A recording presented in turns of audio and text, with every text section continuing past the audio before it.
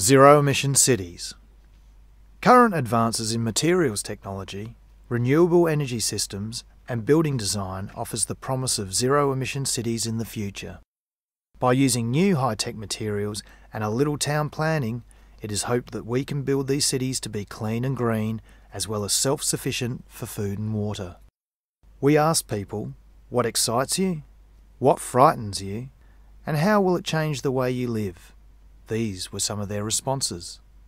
How much work is being done to look at the unintended consequences of building zero emission cities? The innovation required to implement such change would be enormous to say the least, and changing our thinking on cities would have enormous technological, social, economic, and political implications. It sometimes seems that those promoting new technologies have deeper pockets and greater motivations than those making the critical assessments.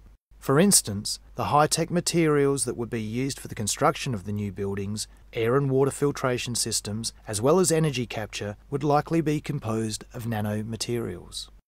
But who can we trust to make sure as a society we will not experience a health or environmental risk to the exposure of these nanomaterials?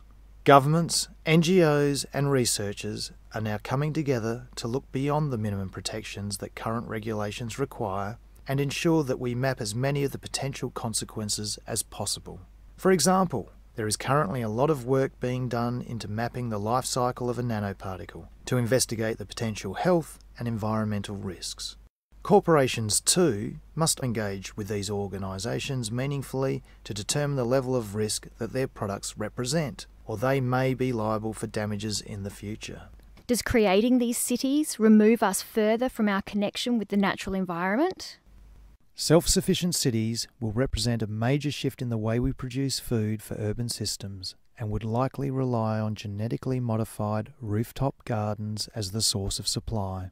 Does this represent the removal of a link to traditional agriculture? And does it really make sense to move from these natural systems to a high tech urban one? In answering these questions, we might consider that our current systems are capable of producing over 2 kilograms of food a day for every person on the planet but over 40% of this goes to waste. Perhaps we need to look beyond the technology of the zero emission city and ask the people living in it for the answers. What do you think?